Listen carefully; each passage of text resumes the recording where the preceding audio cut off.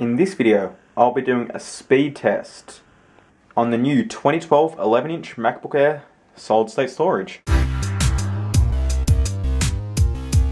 So this is the 11-inch MacBook Air 2012, and this is the highest end stock configuration. So it's an 11-inch display at 1366 by 768.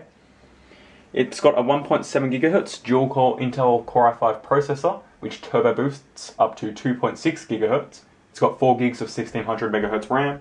It's got 128 gigabytes of flash storage, which is what we'll be testing out in this video, and has Intel HD Graphics 4000. Alright, so to test out the storage, we're going to be using the Blackmagic speed test application. Go ahead and open that up and start the test.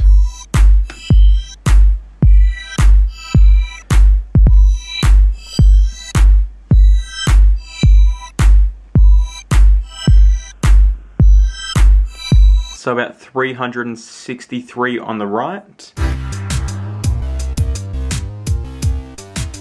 And 458 on the read. That is a fast SSD.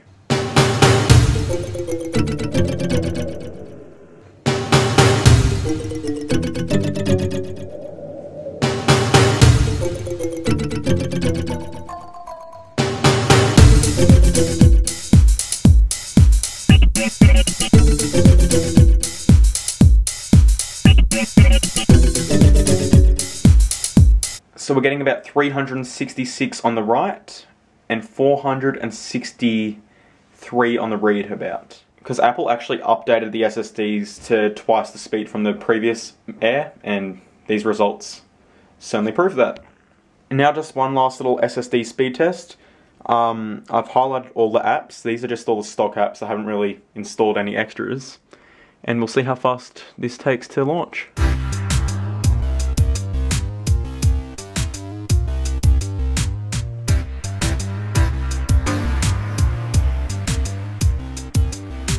Wow, so those apps all opened really fast, so you can really see the performance that SSD gives you. So anyway guys, that's it for this video.